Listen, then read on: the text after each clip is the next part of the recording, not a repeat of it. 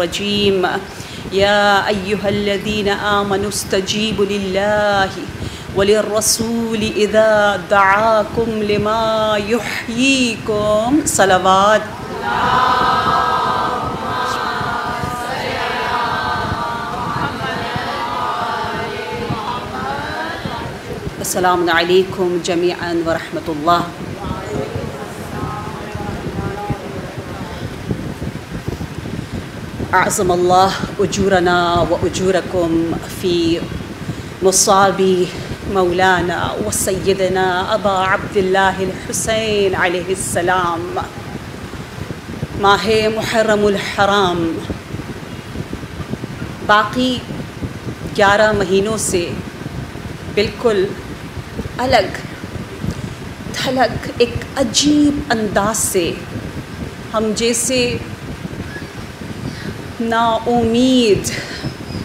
हमें अपने अमाल, अपने किरदार, अपनी नियात, अपनी बंदगी और अपने किरदार से कोई उम्मीद नहीं है। आम लोग ना उम्मीद हैं और जो अलिया इलाही हैं, जो अरफा हैं वो तो हमेशा दा दाइमुसला होते हैं दा दाइमुज़िक्र होते हैं दाइमुल खैर होते हैं। लेकिन मुझ जैसा अगर कोई खैरात, बरक़ात से दूर ज़िंदगी गुजार रहा था, गफलत में, बेखबरी में ना आगाही में, ऐसे अफराद के लिए मुहर्रमुल हराम उम्मीद बहार ईमान, बहार कमज़ोर ईमान, जो हमारी जो ईमान बहुत कमज़ोर हैं, उनको भी कभी बना देता है। हम जैसे लोग भी, हमारा दिल भी धड़कने लग जाता है और हम कहते हैं, इंशाअल्लाह, वो मेरे आका, वो मेरे मौला, वो अबा अब्दुल्ला हुसैन, जिन्होंने मुसलसल मक्का से करबला तक जहाँ जहाँ जिस जिस मंजिल पे ठहरे, हमेशा हमेशा ये नहीं देखा कौन है। हर एक को बुलाया, हर एक के खेमे में गए। ये वो हसीन मकतब है। इसको अपने दिलो जान में लिख दे और अपने आका पर खुलूस दिल के साथ दुरूद सलाम भेजें।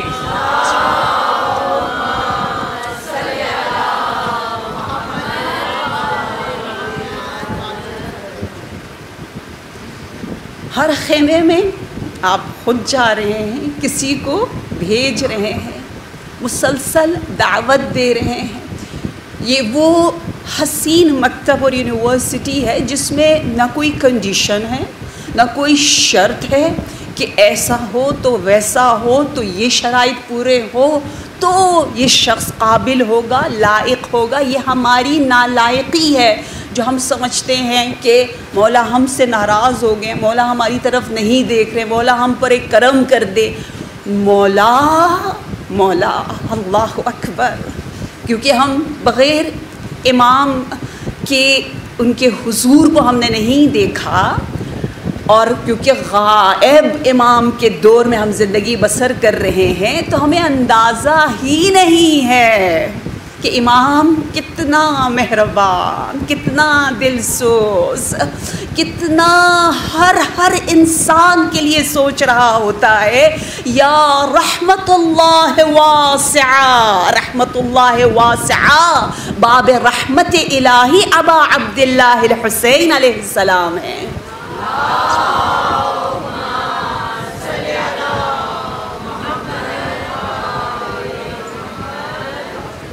हमारी उम्मीद ये है कि जहाँ मौला अबा अब्दुल्ला हर फर्द, हर शख्स, हर खेमे को बहुत उम्मीद के साथ देखते थे, हर दिल को अपनी तरफ़ मजसूब करना चाहते थे और कर रहे हैं अल्लाह करे, इस साल हम शिकार बन जाए हकीकी हब्बुल हुसैन के इन और मौला हमें हमेशा के लिए अपने खेमे में बुला ले इन ये उम्मीद है हमारी और इन इसी उम्मीद के साथ हमने परवरदिगार आलम ने ज़िंदगी दी तो इस अशर को मुकम्मल करना है। बहुत से अलिया और रफ़ा अहले दिल आशूर के लिए एक अजीब अंदाज से बहुत पहले से तैयारी शुरू करते हैं। चले हम कम अज़ कम अभी से, परवरदिगार आलम से रिस्क अश्क अश्क बावफ़ा मांगते जाएँ और इस रिस्क बुका के लिए, अश्क हकीकी के लिए इस तरह से तहारत का हम इन बंदोबस्त करें। कि हर हर उज़्व को, कान, हाथ, पाँव, आँख, और अफा की ये सीरत होती है कि वो कहते हैं, हमने इन हाथों से क्योंकि मातम करना है तो कोई खुदा न खास्ता गलत काम, कोई ऐसा मकरू अमल इस हाथ से अंजाम पजीर ना हो। इन कानों का ज़क़़त हमने मजलिस अबा अब्दुल्लाह को सुनकर अदा करना है। तो ये कान कोई बुरी चीज़ समात न करे। और इन आँखों से हमने अश्क बहाना है। ये आँखें बहुत कीमती है। लिहाजा ये आँख ना हक को ना देखे और इन पाँव के ज़रिए हमने बारगाह। अबा हुसैन, जो जलवा रहमान रहीमियत इलाही है, उसमें कदम रखता है। तो ये कदम कहीं और न जाए। ये वो तहारत और पाकी है, जिस तक इन बहुत सी मोमिनत पहुँच चुकी है। और मुझे से हकीर शायद आज से शुरू करें और तासो और आशूरा हम अपने अरूज अपने उस मंजिल तक पहुँचे, जिस मंजिल के लिए हम हमेशा तड़प रहे होते हैं। आइए हम मिलकर कोशिश करते हैं इन कुछ अयाम में कि उन सिफ़ात, उन हैबिट्स उन आदात उन सीक्रेट्स को जाने, जिनके ज़रिए करबला में ख़ास तौर पर ख़वातीन ने अपना जो जलवे जमाली को, जमाली इलाही को जिस अंदाज से दिखाया, वो उसे हम अपनी इस आजकल की ज़िंदगी में अडॉप्ट कर सके। ख़वातीन करबला और स्पेशली सैद ज़ैनब सलामुल्लाह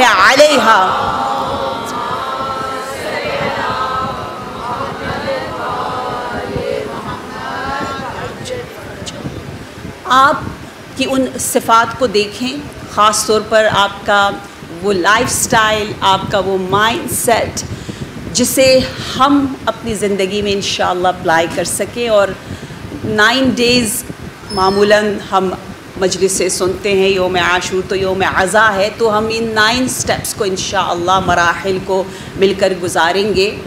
और आज पहली मजलिस है तो आइए देखते हैं कौन सा ऐसा अमल है जिसके ज़रिए हमें क़ुरब ज़ैनबी और क़ल्ब शरीकतुलहुसैन में हमारा मकाम हो और हम उसी सिफत को ले, जिस सिफत को दुख्तर अली ने अपनी ज़िंदगी में मुसलसल हमारे सामने नुमाया किया, वो सिफत, वो क्वालिटी, वो आदत इतनी हसीन है, इतनी खूबसूरत है।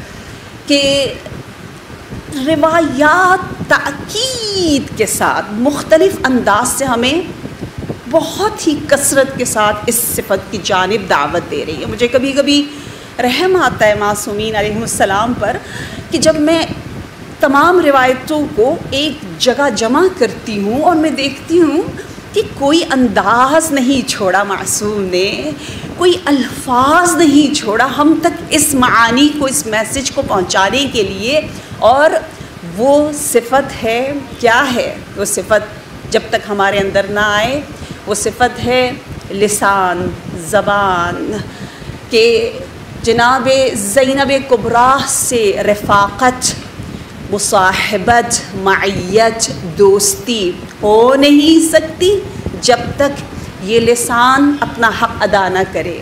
इस ज़बान को हम तहज़ीब अखलाक़ी और इस्लामी ना सिखाएँ। वो घर, जिस घर में लड़ाई हो, झगड़ा हो, गुस्सा हो, वो घर कभी बरकत इलाही से मामूर नहीं हो सकता।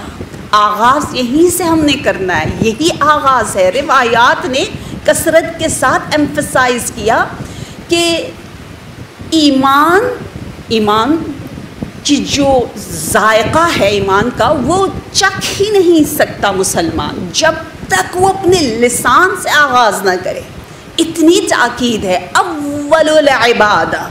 जब हदीस कुदसी में मेरे नबी मोहम्मद मुस्तफ़ा सल्लल्लाहु अलैहि वसल्लम।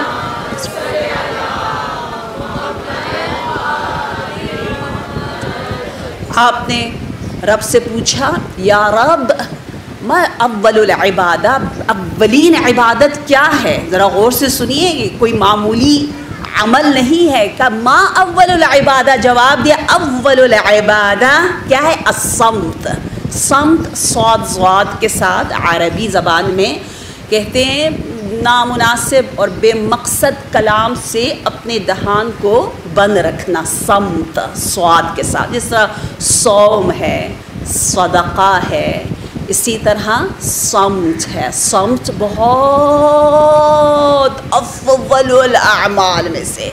ला इबादत का समत क्या कोई इबादत समत के दर्जे तक पहुँच सकती है? ये मौलाए कायनात। बाबुल इल्म, इमामुल आरिफीन। मौला अमीर अमीर अली इब्न अबी तालिब ने फरमाया,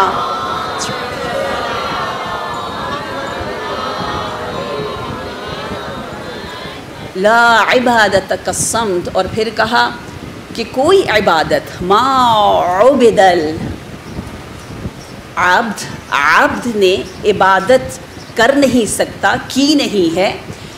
जैसी इबादत वो समत के ज़रिए कर सकता है, या बेतुल्लाह की जानब मश कदम के ज़रिए पैदल चल के अपने वतन से काबा तक जाए तो वो इबादत एक इबादत है और उसके साथ साथ समत एक इबादत है। यानी बेतुल्लाह को मशी करना, बेत खुदा की जानब मशी करके जाना, जिसका अज रिवायात में सेवेंटी थाउज़ेंड हज के बराबर बताया गया है, उसके साथ जिस इबादत को ज़िक्र किया गया है, वो है समत और न सिर्फ़ ये, बल्कि आप खूब जानती हैं कि इमामुलमुत्तकीन ने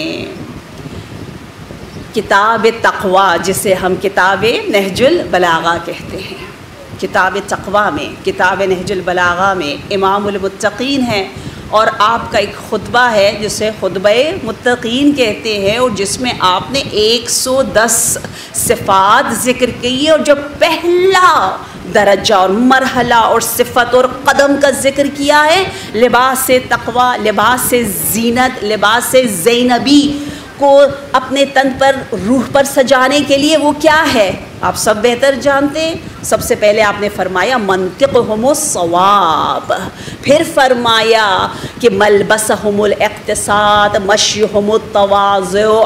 और सगरा दुनिया फ़ी आयुन हिम अदमल खालिक फ़ी आयुन हिम ये सारी वक़फ़ु असमाहम नाफ़ ये तमाम सिफ़ात आप एक सौ दस सिफ़ात बयान कर रहे बेहक मौला कायनात इमामुलमुत्तकीन है। और आपने किताब तकवा में एक सौ 110 सिफात बयान की हैं और हम सब जानते हैं कि ला इलाहा इल्ला हु का अदद भी 110 है और आली का ये हसीन नाम भी 110 हरूफ अबजद के एतबार से है।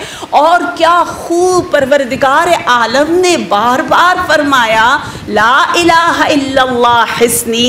यही कहा ना, ला इलाहा मेरा किला है, फमन दखला हिस्नी अमीना मिन अदाबी वही रब जलाल कहता है कि विलायत अली अबी तालिब हिस्नी, फमन दखला फ़ी हसनी अमिन अमिन आवाबी अली और तोहीद, विलायत और रबूबियत का ज़िक्र ख़ुद रब कह रहा है कि अगर अगर इस हसीन से जैनबी लिबास को पहनना है, अगर तकवा से अपने आप को मुजयन करना है तो इमामुलमुत्तकीन ने जो मराहल, जो बेहतरीन अंदाज से स्टेप्स हमें सिखाए हैं, वहीं पर हमें जाना होगा। और वो दर्जा, पहला दर्जा, पहला कदम क्या है?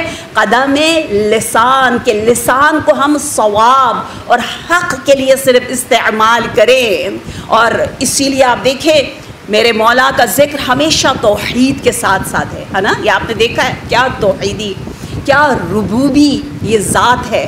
और ज़ात दुख्तर अली, सर तपा तोहीद, सर तपा तोहीद। लोग गली में मेरे मौलाए कायनात को देखते थे, लेकिन उनकी ज़बान पर कलम तोहीद जारी होता था। देखते अली मुर्तबा को हैं, लेकिन याद अल्लाह को करते हैं। काश हम भी जब मुहर्रम आए, हम या जैनब या हुसैन कह रहे हैं, लेकिन हमारे सजदे तूलानी से तुलानी तर हो रहे हैं। क़ुरान आम दिनों से ज़्यादा पढ़ा जा रहा है। ये अहद करें जितने नोहे हम सुने, जितने मरसिए हम सुने। कम अज़ कम उतने ही सूरे मेरे आका के लिए, मेरी शहज़ादी जैनब के लिए हम तिलावत करें। जब आप तिलावत कर रही हों तो ज़रा तसव्वुर करें ना कि शब आशूर है और मेरी बीबी क़ुरान की तिलावत फरमा रही है। वो ज़बान जो बेमकसद कलाम के लिए समत का हसीन सा लिबास पहनती है और उस पर ज़िप लग जाता है। आजकल तो साइकोलॉजिस्ट बहुत ज़्यादा इसको प्रैक्टिस करने लगे ना। बहुत सी जगह बाकायदा इसको एक्सरसाइज करवाया जाता है। क्लिनिक्स में सिखाया जाता है कि आए मिलकर समझ साइलेंस खामोशी सुकूत को प्रैक्टिस करते और उसकी ब्यूटी को एहसास करते उसकी आज़मत को, उसके वक़ार को, उसकी हैबत को, उसमें जो पैगाम है, जो हमत है, और मैं क़ुरबान जाऊँ, जो बातें आजकल की ज़बान में, जो आपको नज़र आ रहा है सोशल मीडिया पर। आप भी शायद देखती होंगी, लोग बहुत ज़्यादा इन सिफात की तरफ़ जा रहे हैं। जिस तरह इस्लाम जहद का नारा बुलंद करता है, सिंप्लिसिटी का नारा बुलंद करता है, और अब वेस्ट में काफ़ी सालों से बहुत ज़्यादा ट्रेंड है कि हमने मिनिमलिस्ट बनना है। मिनी मिनी, कम से कम, आज़ाद आज़ाद आज़ाद। वो दुनियावी फ़ायदे, बेचारे तजर्बा कर कर कर कर के एक नतीजे तक पहुँचते वो उनका कमाल है। वो वो अपनी मेहनत कर रहे हैं। बहुत बड़ी बात है। मेहनत करके वो एक सिरा पकड़ लेते हैं उस हदीस का।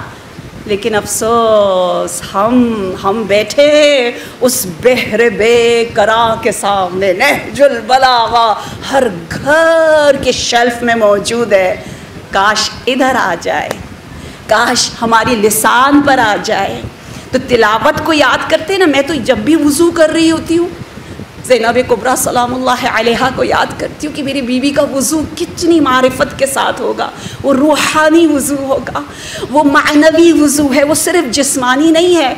मेरा सजदा तो जिस्म झुकता है, मेरी जैनब कुबरा के सजदे पर हमारी जान कुर्बान, ये वो पैगाम है कि रबाल ने कहा, ला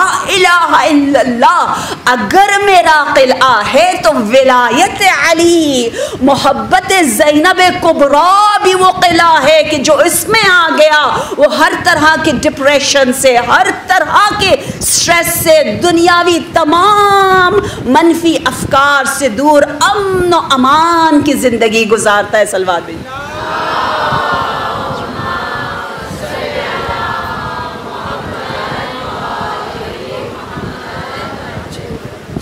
सूरह तोहीद भी आप खूब जानते हैं। मेरी सैदा को, जैनब कुबरा सलाम को इस सूर्य से एक ख़ास इश्क, मोहब्बत। जो बहुत स्मार्ट लोग हैं, वो अभी ज़िक्र भी कर रहे हैं। मुझे पता है आप ला इला कह रहे होंगे और मुझे पता भी नहीं चल रहा होगा। पता है ना आपको? ज़िक्र खबी है। आप सूर्य तोहीद पढ़ें ना। पढ़ें एक एक एक एक तस्वीर पढ़ के आप देखें, आपकी ज़िंदगी में क्या सुकून आता है। क्योंकि वो फ़ौर आपको बुत शिकन जिस तरह दुख्तर अली रस्म शिकन है जैनब यू नो इतना इस नाम में माना, अमीक मौजूद है, हमें हिला के रख देता है, जैनब, बहुत ताकत है। ख़वातीन करबला के किरदार में ये वो चराग है, जिसको देख कर हम अपना रास्ता, अपने आप को नूर की जानब ले जा सकते हैं। इतना ये हसीन किरदार हमें वो ताकत दे रहा है कि सूर्य तोहीद अगर तीन मरतबा पढ़ा तो आपने क्या किया? व बेंच व के तमाम दर्जात को आपने मुकम्मल कर लिया। ये तकमील तोहीद तकमील क़ुरान और तकली तकमील विलायत विलायत लसानी विलायत कल्बी, विलायत अमली। ये पहला सूरा, एक मरतबा आपने पढ़ा, यानी आपकी विलायत और इश्क और मोहब्बत और कनेक्शन जो है वो लिसानी है। दो मरतबा पढ़ा तो कल्बी भी है। तीन मरतबा पढ़ा तो आमली भी है। समझ में आया? ये क्या है? अब समझ में आया कि क्यों मदीना वाले जब मौला के चेहरे की ज़ियारत फरमाते तो क्या कहते थे? माशल फतेह सब मिलकर। ला इला मा अकरमा हाजल फता ला मा आलमा हाजल फता ला इला कहते थे, देखो तो सही, ये कितना करीम है अपने रब की तरह, ला इल्लल्लाह देखो तो इस जमाल आलवी को ये कितना शुजा है, कदीर है, रब का जलवा कुदरत है। ला इल्लल्लाह। सबसे प्यारा ज़िक्र ही यही है कि लोग आपको देखें और आपके ज़रिए रब को याद करें। ये है जैनबी किरदार। इन अल्लाह, हमने उस पानी की तरह बनना है ना? मोमिन पानी की तरह होता है। मसल मोमिन खालिस का मसल मा। पानी और खालिस मोमिन जैनबी सिफात वाली मोमिना पानी की तरह होती हैं। बहुत सी वजूहत, इनमें से तीन एक शबाहत आपके सामने बयान करूँ। पहली शबाहत क्या है? कि पानी खुद भी पाक, दूसरों को भी। आपसे रहा ना जाए। आप कहें, नहीं, मैं ज़िक्र बनूँगी, मैं ज़िक्र बनूँगी, मैं रिमाइंडर बनूँगी। मुझे देखकर लोगों को और बहुत हसीन सा बने, ठीक है? मीठा बने, कड़वा नहीं, कड़वा रिमाइंडर किसी को नहीं पसंद। ठीक है अच्छा सा, खूबसूरत सा, खूबसीरत सा। और दूसरा ये कि पानी के कोई नखरे नहीं होते। आपने उसको जहाँ भी डाल दिया, जैसे भी डाल दिया, वो बेचारा बोतल में भी चला जाएगा, जग में भी चला जाएगा। नो नखरा। और जो खालिस मोमिन है, वो इतना खुश रहता है उसे कोई नहीं कि अच्छा आज क्या पका है? ये क्या है खाने में? अनस कहता है ना, मैं दस साल खिदमत करता रहा अपने नबी की। टेन ईयर्स कम नहीं होता। नौजवान बच्चा था। दस साल के बाद उसने रिपोर्टिंग शुरू कर दी। सबको बताना शुरू कर दिया कि इन दस सालों में नबी ने कभी नहीं पूछा कि आज खाने में क्या पका है। कराची वाले पूछते कराची और खाना, माशाल्लाह, है ना? इस्लामाबाद आते तो सुना है, कहते, हाय हाय, इनको तो कोई यू नो खाने का कोई ज़ोक, कोई टेस्ट ही नहीं है। बड़े बदजोक से लोग हैं। अब थोड़े थोड़े से आपके नक्श कदम पे चलने लगे हैं अफसोस के साथ इस्लामाबाद वाले भी। तो खाना में नखरा करना, ये मोमिन आलम जन्नत में एक शहर सिटी आपके लिए बना देता है। इतना आज आजरा। आपके हज़ारों गुनाहों को आपसे दूर कर देता है। इतना फासला जो हमने अपने अमाल के ज़रिए जन्नत से कर रखा है, उसको दूर कर देता है। इतना रब को पसंद है। तो ये इबादत का वक्त है, ये प्यार का वक्त है, ये डांटने का, खाओ हती बच्चों को। हमें नहीं चाहिए वो स्ट्रेस के साथ सुलाएँ, स्ट्रेस के साथ खिलाएँ। कभी कभी कुछ माएँ ऐसे करती ना, सो जाओ सो जाओ, सुबह उठना है। नहीं। बेचारे डर डर के सो रहे हैं कि सुबह उठना है ये स्कूल में जाना है, ये करना है, वो करना है। आराम से सुलाएँ, कोई बात नहीं यू नो थोड़ा थोड़ा सा लेट भी उठ जाए। उसकी पर्सनैलिटी बहुत ज़्यादा अहम है। ये बचपना उसका, ये प्यार, ये मोहब्बत इतना अहम है कि हद ही नहीं। खाना खिलाते हुए भी, डराते हुए, धमकाते हुए, और खौफ के साथ बेचारों को ना कि वरना तुम ये हो जाएगा, तुम्हें वो हो जाएगा। ये तो हमें पता नहीं किसने सिखाया, मुझे नहीं पता। कि बच्चों की तरबियत हम धमकी के साथ, सही डरा डरा के करते हैं। हमारे नबी ने हमें नहीं कहा कि मुनजिर बन जाओ, इंतज़ार करते रहो, धमकियाँ देते रहो, डराते रहो और फिर तरबियत करो। ये हुक्म हमें नहीं आया, ख़ास तौर पर ज़ीरो टू सेवन में। बहुत ख्याल रखें अपने इन बच्चों का और तरबियत के लिए ज़बान का, दहान का इस्तेमाल ज़्यादा ना करें ना करें। क्यों? क्योंकि हमने आशूर के लिए अपने आप को तैयार करना है ना? सुर इब्राहिम आयत नंबर ट्वेंटी फोर कलेमतन तय्यबा का शजरतन तय्यबा। आप सबको ये आयत याद है कि एक तय्यब ताहिर कलाम जो है, वो एक तय्यब ताहिर शजर की तरह है। कितना अहम है। ताहिर अफवाह अफवाहकुम फ़िन्हा तुरकुल अपने दहन को पाक रखो क्यों? क्योंकि इस दहन के ज़रिए शरीकतुल कुरान शरीकतुल हुसैन, जैनब कुबरा सलाम अलैहा का नाम लेना है।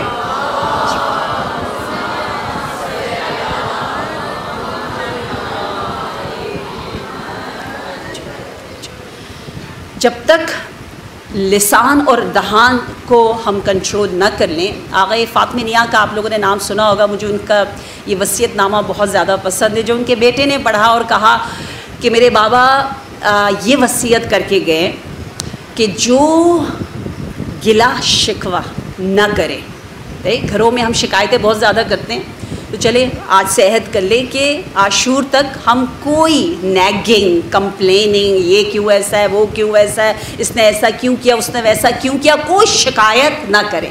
अगर घरों में हम लड़ाई ना करें, ज़बान का गलत इस्तेमाल ना करें और झगड़ा ना हो तो आगे फातमिनिया कहते मैं बरज़ख से तुम्हारे लिए दुआ करूँगा। कौन है ये कहने वाला? इन्होंने अपनी पूरी ज़िंदगी में पूरी साठ साल जो मुश्तरक ज़िंदगी इजदवाजी लाइफ है, उसमें इतना एहतराम अपनी जोजा का किया कि उनके बेटे भी आयतुल्लाह के दर्जे पर हैं। वो कहते हैं कि कभी एक ही महफ़िल में दस मरतबा हमारी मामा आती थी, अम्मी आती थी, वो खड़े होते थे। अम्मी आती थी, वो खड़े होते थे। और ज़रूरी नहीं है कभी कभी जोजा का अखलाक इतना अच्छा नहीं होता, लेकिन फिर भी फिर भी वो अपना अपना काम कर रहे होते हैं। और कभी उनकी आवाज़ ज़रा सी भी साठ साल ज़िंदगी में ऊँची नहीं हुई। हमारे घर में ऐसा है, जैसी किसी की आवाज़ ऊँची हो जाए तो हम ये सूर्य जुमा की आयत पढ़ते हैं ना कि इन्ना अनकरल असवाद लसौतुल हमीर। या सूर्य कबूत में है कि बदतरीन आवाज़ जो है, ऊँची सबसे मुनकर आवाज़ जो है वो किसकी है? गधे की है तो हम क्यों ऊँची आवाज़ करें? जिस तरह अल्लामा तकी जाफरी कहते हैं, जैसे ही मैं ज़रा सा ऊँचा और आपे से बाहर होने लगता हूँ, मैं फ़ौर सोचता हूँ, अरे मैं गधा तो नहीं हूँ, मैं कोई दरिंदा तो नहीं हूँ, मैं क्यों चीर फाड़ रहा हूँ अपनी आवाज़ के ज़रिए, अपने रिएक्शन के ज़रिए? अरे मैं तो इंसान हूँ फ़ौर रियलाइज़ करें, ये वो पहला कदम है, ये बहुत ही अहम कदम। जिसके ज़रिए इन हम क़ुरबत कल्ब ज़ैनब कुबरा सलाम को हासिल कर सकते सलाम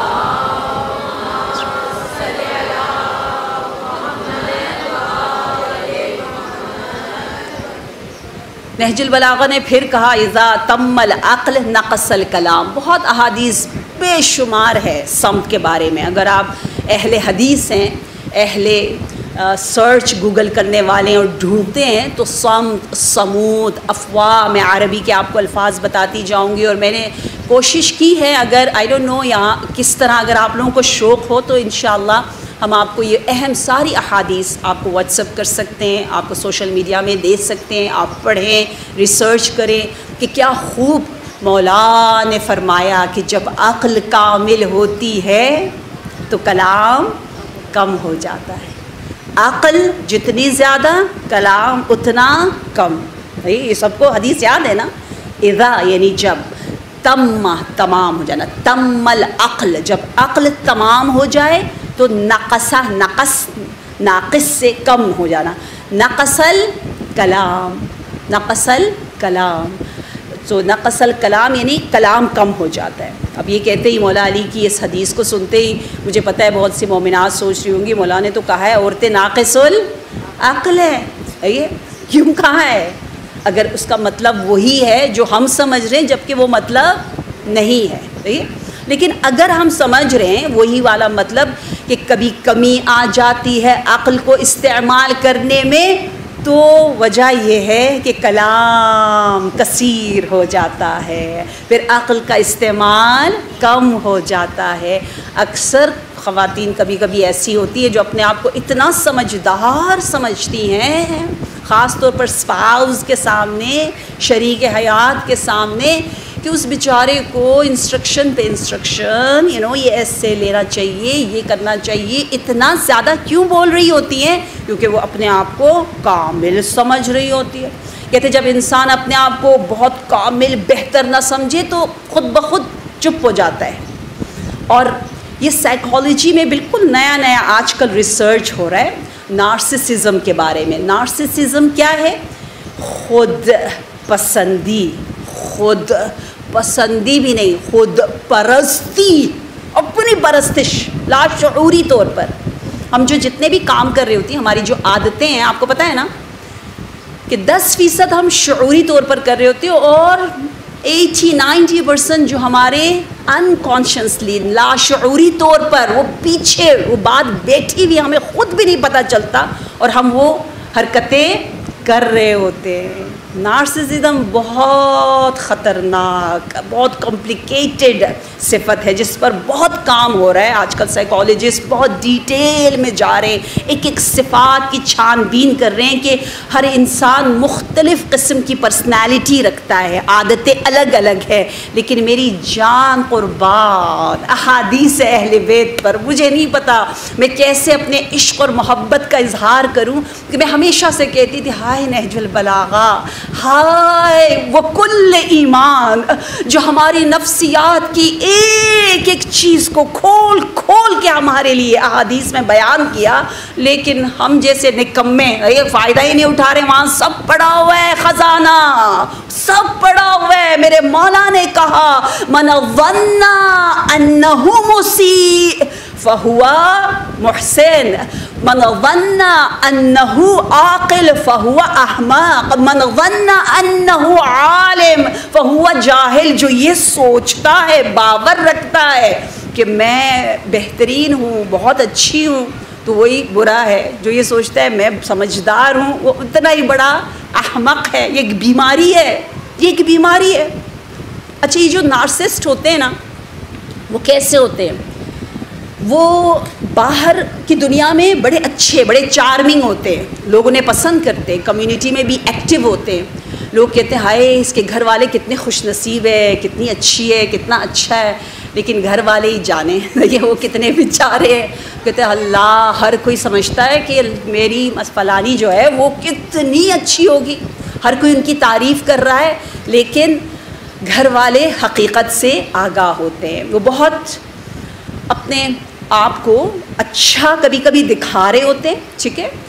लेकिन हर अमल का जो महवर होता है, उसमें खुदी खुदी, खुद पसंदी और ख़ुद परस्ती सबसे ज़्यादा गालिब होती है, बहुत ज़्यादा। हती अगर नार्सिज्म बहुत ज़्यादा बढ़ जाए तो वो औलाद में भी, क्योंकि पार्टनर या पेरेंट कोई भी इंसान जो इस बीमारी में मुबतला हो, जो उसके साथ ज़िंदगी गुजारे होते हैं, वो बेचारे ही होते हैं ना। और वो बेचारे अपने आप को बुरा समझ रहे होते हैं।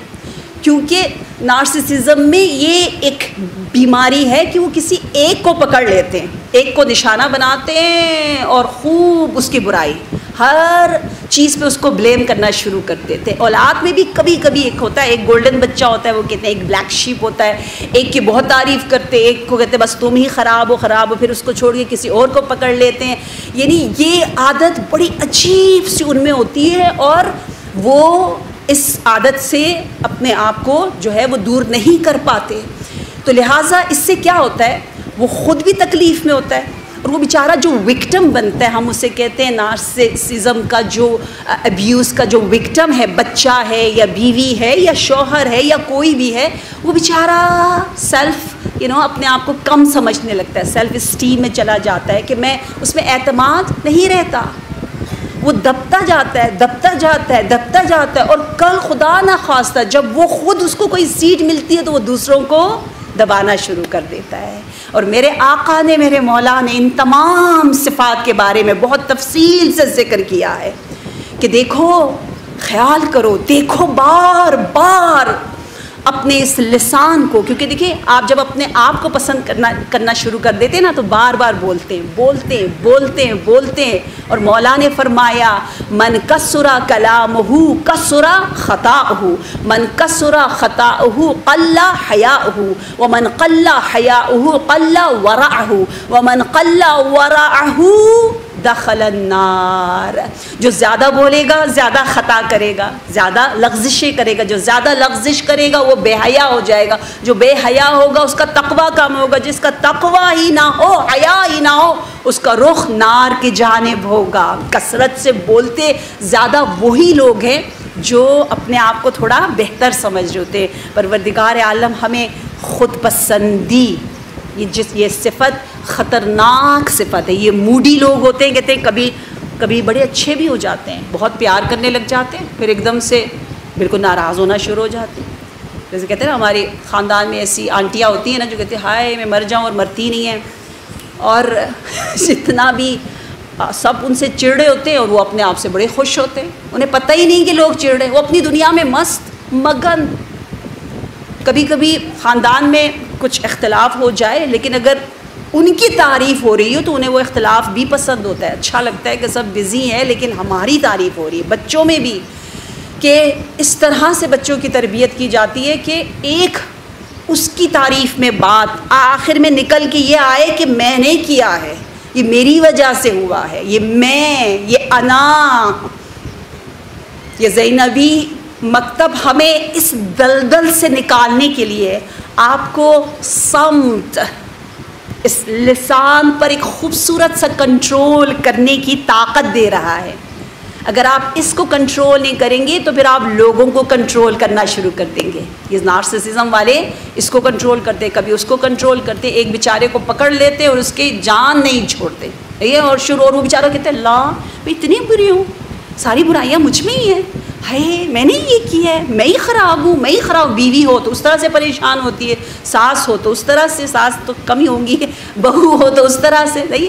ये स्पाउस एंड सास पार्टनर एंड पेरेंट किसी में भी अगर ये कन्फ्यूज़न वाली, अजीब सी कॉम्प्लिकेटेड बीमारी आ जाए तो साथ वाली की ज़िंदगी तबाह हो जाती है। इसलिए इसकी आगाही से हम अपने आप को प्रोटेक्ट कर सकते हैं। और ये कलाम मुजज़ा नहजुलबलागा का है, जो बार बार हमें एक एक चीज़ों की तरफ़, ये जो हम अफसोस के साथ हमारे माशरे में ये चीज़ें डिस्कस तफसील से नहीं होती ना, अफसोस के साथ कम होती है, बहुत कम जगहों से आपको पता चलता है कि ये बीमारियाँ किस तरह से हमारी आखरत और दुनिया को तबाह कर रही है।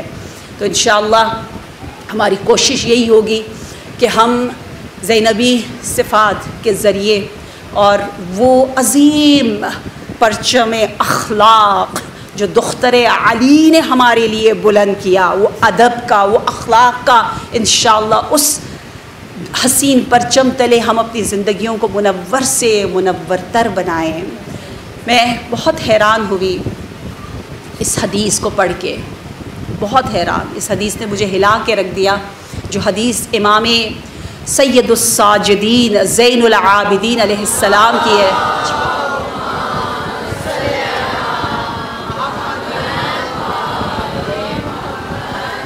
आप फरमाते हैं कि जब हम मर जाएँगे तो नकीर व मुनकर से पहले दो और फरिश्ते आएँगे, जिनका नाम है रुमान एंड फ़त्तान, और उन फरिश्तों का काम होगा मैत को सूंघना उसकी खुशबू को सूंघना।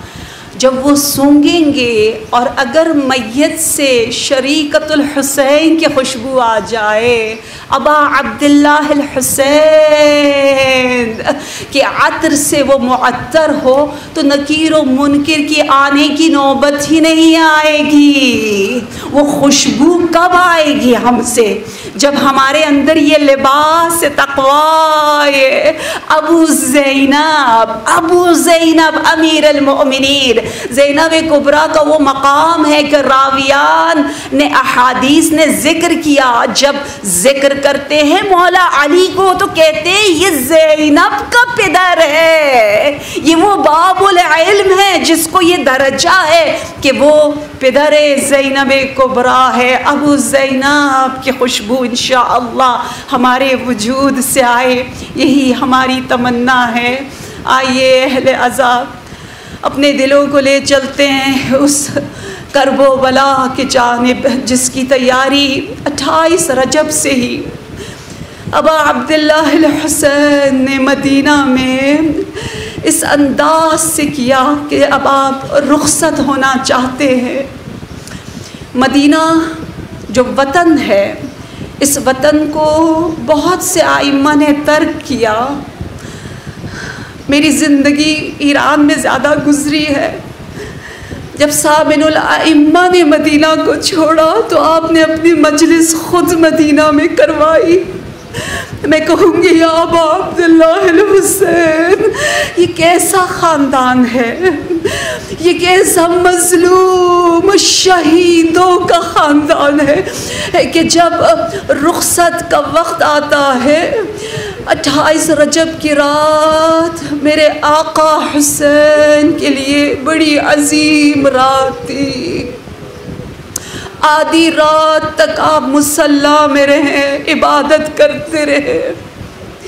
जैनब कुबरा भी सजदों में रात गुजार रही है। मैं कहूँगी, ए मदीना, ये आखिरी रात है हुसैन इब्न अली की।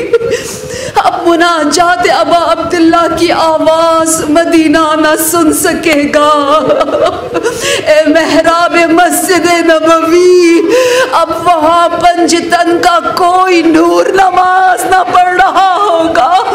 मेरे हुसैन की ये आखिरी रात है। सजदों में ये रात गुजरी। आधी रात होती है तो रुख नाना के रोज़े की जानब करते हैं। आइए, सब चले मदीना। हुसैन के हमरा चले। यही तो हमारी ताकत है, रूह की। जहाँ चाहे हम उसको ले जा सकते हैं। गए नाना के रोज़े पर, दोनों हाथों को कब्र नबी पर रख कर कहा अस्सलाम या जद्दा अल्लाहुम्मा अल्लाह को गवाही करार देकर कहा कि परवरदिगारा तू गवाह रहना इस ज़मीन पर अब कोई नहीं है जो अपने आप को नवाज़ रसूल कह सकता हो अल्लाहुम्मा हादा कब्र नबीक व अना इब्नो बिन्त नबीक ये तेरे नबी की कब्र। और मैं उनका नवासा हूँ। और रोते रोते इमाम हुसैन की आँख लग गई। आलम रोया में क्या देखा? नाना तशरीफ़ लाए खाक आलूद, नाना का लिबास। हुसैन को अपने आगोश में लिया। मौला हुसैन ने रोते हुए कहा, ए नाना रसूल अल्लाह मुझे अपने पास बुला ले। तो जवाब में कहा, तुम अनकरीब मेरे पास आ रहे हो। ये सुनते ही इमाम हुसैन जब रोया नींद से जागे तो कहा, इन्ना लिल्लाह व इन्ना इलैहि राजिऊन। नाना के रोज़े के बाद बावकार कदम उठाते हुए अपने भाई के कब्र पर गए। हाय हसने सब्जे कबा। भाई को सलाम किया और कहा है मेरे भाई, आप सारी ज़िंदगी कहते रहे हुसैन, ला यौम का यौम मेरा दिन जितना भी कठिन हो जो दिन तेरा आए गए मेरे भाई हुसैन उसका मुकायसा किसी और दिन से नहीं है, हे मेरे भाई हसन हुसैन राख जा रहा है। वही इमाम हुसैन जो बावकार कदम उठाते हुए कब्र हसन पर गए। अब रुख माँ की कब्र की जानब है। अब इमाम हुसैन दौड़ते हुए जाते हैं। लगता ऐसा है जैसे कोई बच्चा अपनी माँ की आगोश में जा रहा है। अस्सलाम अलैकिया उम्मा। ए मेरी माँ हुसैन, में जा रहा हूँ। कब्र से आवाज़ होगी ये मेरे लाल। मैं तेरे साथ साथ हूँ। जब तू मकतल में जाएगा। करबला की ज़मीन को मैं साफ़ करूँगी। जब तू सुलझला से गिरेगा, मैं अपनी चादर बिछा कर तुझे अपने दामन में ले लूँगी। ए मेरे गरीब हुसैन, तेरा किसी असाब के दामन में ना जाएगा। तेरी माँ का बुरका होगा और तेरा कटा हुआ सर। शायद शायद माँ ने ये जुमला भी कहा हो ए मेरे हुसैन, जब तू मेरे पेट में होता था ये आवाज़ मरसिए का मैं सुनती थी कि तू यूँ मरसिया पढ़ता था। या उम्मा अना वलद कलात शाद या उम्मा अना वलद कल उरियाद या उम्मा मैं तेरा वो प्यासा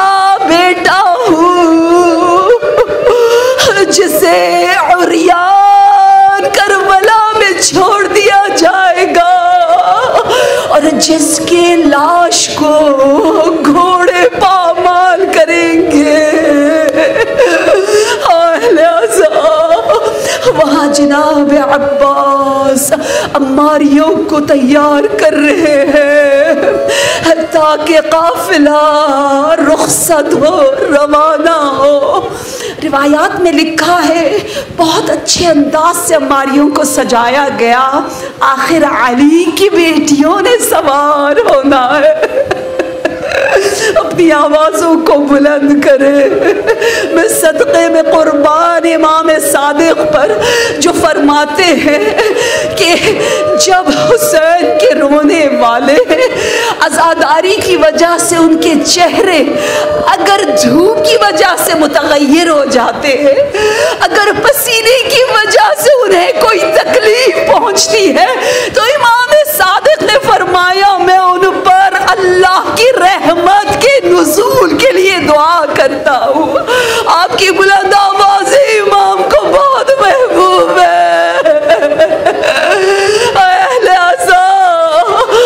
बीबियों ने सवार होना शुरू किया। जनाब उम्मे फरवा को कासिम ने सवार किया।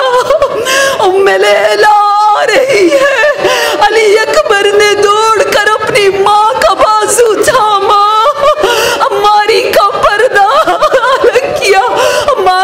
एहतराम से सवार किया। इतने में आवाज़ आई, अली की बेटी। उम्मे कुलसूम आ रही है। जनाब अब्बास आगे बढ़े। बहन को अदब के साथ मरकब पर सवार किया। और फिर आवाज़ आई, अली की बेटी जैनब कुबरा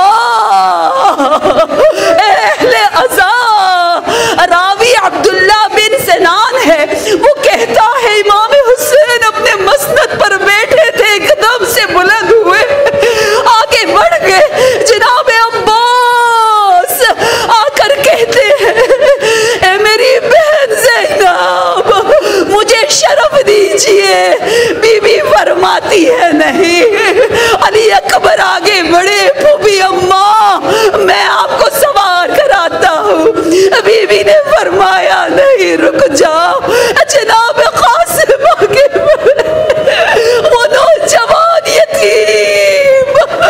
लेकिन कुबरा फरमाती है, नहीं, अब कौन आते हैं ओ मोहम्मद ए अम्मा हम आपको सवार करें फरमाया बेटो नहीं और जब इमाम हुसैन आगे बढ़े तो जैनबी कुबरा ने अदब के साथ कहा, ए भैया, मुझे माफ़ कीजिए, मैं उससे सवार होगी बाजो नमायू पढ़ते हैं कि जो मुझे ग्यारह मुहर्रम को सवार करेगा।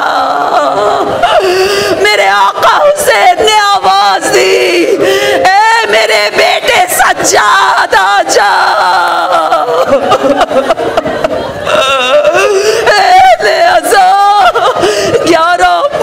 मुहर्रम को जैनब कुबरा की जब सवारी का वक्त आया, नहरे फरात की जानिब देखकर बीवी ने फरियाद बुलंद की।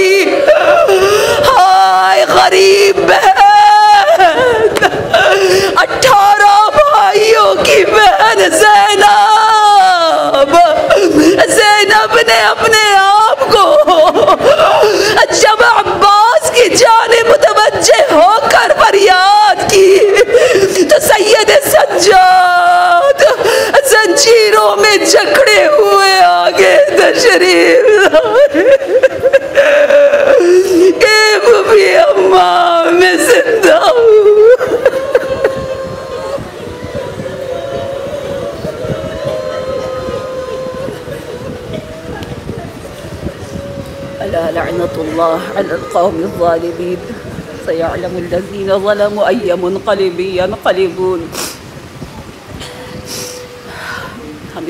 इस तरह से दुआ करें कि इन इमाम असर, साहिबुल असर, साहिब आज़ा, आमीन कहें।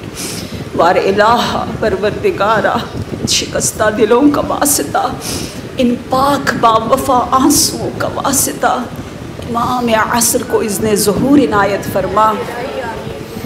इमाम के मगमूम दिल को हमारे अमाल से मसरूर फरमा।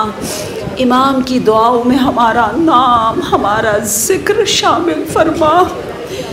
बार इलाहा, हमें समझ, खामोशी की हमत से उस नूर को हासिल करने की तोफ़ी इनायत फरमा। या रब, परवरदिगारा, हमें लिबास तकवा से मुलबस और मुजैन फरमा। परवरदिगारा, हमारे कमज़ोर इरादों को जैनब कुबरा, कि ईमान की ताकत के सदक़े मज़बूत फरमा। या रब, हमारे अखलाक को अखलाक जैनबी बना दे। परवरदिगारा, हमारे लिसान को हक़ और सवाब, स्वाद के साथ सवाब, यानी हक़, सवाब के लिए वक्फ फरमा। या रब या रब या रब, हमें ख़ुद पसंदी, ख़ुद परस्ती, अना अना के दलदल से बाहर निकाल दे। परवर परवरदिगारा बहक़ मोहम्मद आल मोहम्मद, हमारी रूहानी, जिस्मानी बीमारियों को शफा के लिबास के ज़रिए तब्दील फरमा। परवरदिगारा, हमारे मरहुमीन की मगफ़रत उनके दर्जात को बुलंद से बुलंदर फरमा। बानियान मजलिस, साहिबान अज़ा, की जो तमन्ना है, जो हाजत है, उनकी औलाद को बाक़ियात सालहात और उनकी नस्ल में नस्ल दर नस्ल क़यामत आज़ादारी, इश्क हुसैन हब हुसैन हब अहल बेद करार दे। परवरदिगारा खुदा बंदा बहक़ मोहम्मद वाल मोहम्मद। ये हाथ जैनबी, हाथ बुलंद है, या रब या रब या रब। किसी हाथ को खाली वापस न लौटा। हमारी दुआओं को अपनी बारगाह में बतौर असरा मुस्तजा फरमा। या रब, हमारी ज़िंदगी के आखिरी अयाम को बेहतरीन इबादत की हालत में करार दे। व तकबल मन्ना इन का तस्मी अलीम। सलवा